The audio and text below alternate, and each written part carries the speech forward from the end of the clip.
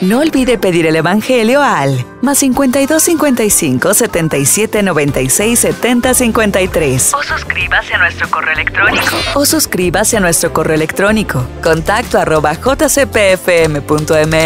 Y viva su fe. JCPFM. Evangelizando al mundo. Hoy es sábado 3 de noviembre del año 2018. Hoy celebramos a San Martín de Porres. Escuchemos y meditemos la palabra de Dios del Santo Evangelio según San Lucas. Gloria a ti, Señor. Un sábado Jesús fue a comer a casa de uno de los jefes de los fariseos, y estos estaban espiándolo, mirando cómo los convidados escogían los primeros lugares. Les dijo esta parábola. Cuando te inviten a un banquete de bodas, no te sientes en el lugar principal, no sea que haya algún otro invitado más importante que tú y el que los invitó a los dos venga a decirte, déjale lugar a este y tengas que ir a ocupar lleno de vergüenza el último asiento. Por el contrario, cuando te inviten, ocupa el último lugar, para que cuando venga el que te invitó te diga, amigo, acércate a la cabecera entonces te verás honrado en presencia de todos los convidados, porque el que se engrandece a sí mismo será humillado, y el que se humilla será engrandecido. Palabra del Señor. Gloria a ti, Señor Jesús.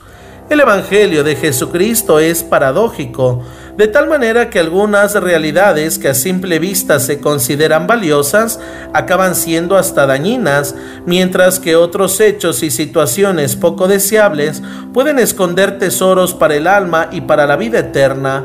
Una grave enfermedad, por lo general, se considera un serio daño para la persona, pero no pocas veces marca el principio de una conversión o se vuelve un motivo de unión para la familia.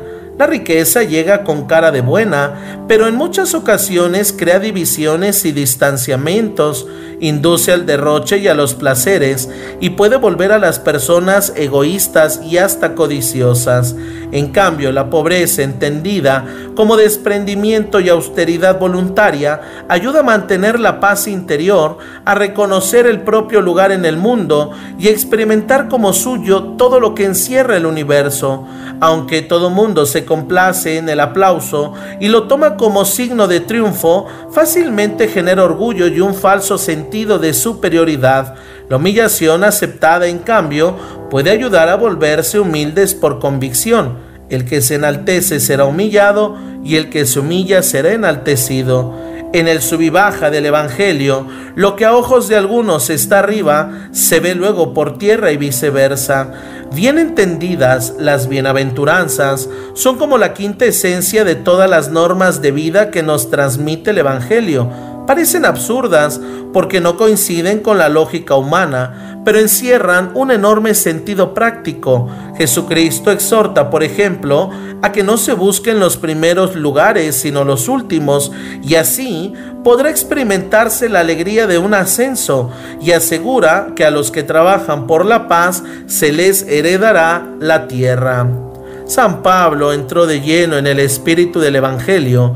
Antes de que éste fuera encerrado en sus palabras, lo asimiló directamente de Cristo, de su amor a Él y a su misión en el mundo, de la que se hizo continuador. Ese espíritu evangélico induce al apóstol a reconocer lo relativo de todas las cosas pasajeras y a poner por encima de todo, como el valor más alto, la persona misma de Cristo por eso pudo decir, para mí la vida es Cristo y la muerte una ganancia. Aún así, la generosidad de San Pablo es tan grande que si el seguir viviendo le permite seguir haciendo el bien a los demás, en vista de ese bien, propone su anhelo de estar con Cristo. Solicite el Evangelio diario al 55 27 98 08 38 y ayúdenos a compartirlo entre sus amigos. JCP FM, Evangelizando al Mundo.